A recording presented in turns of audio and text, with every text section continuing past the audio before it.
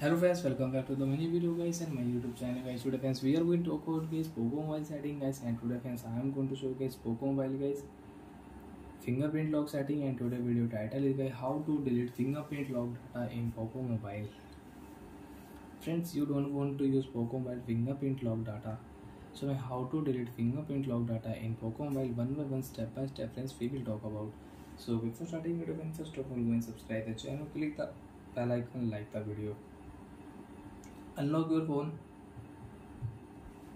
Open your phone setting. After phone setting friends you can see this type interface in your device. So friends in your poco mobile scroll it and open your phone. Password security setting. Fingerprint lock setting friends we will open. After open fingerprint lock setting next click here.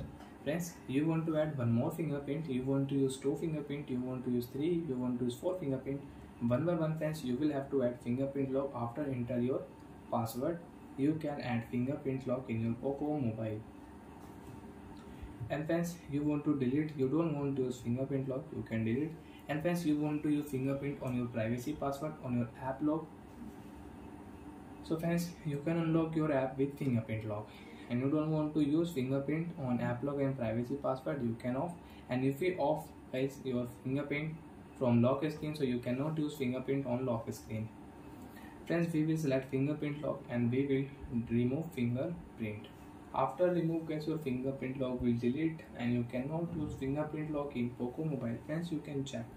Fingerprint lock setting is off. You want to unlock your poco mobile you can unlock your phone.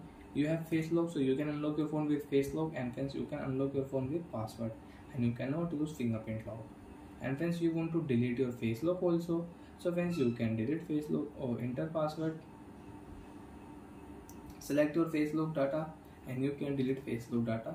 I don't want to delete. You want to delete you can delete. Bye friends. Thanks for watching the video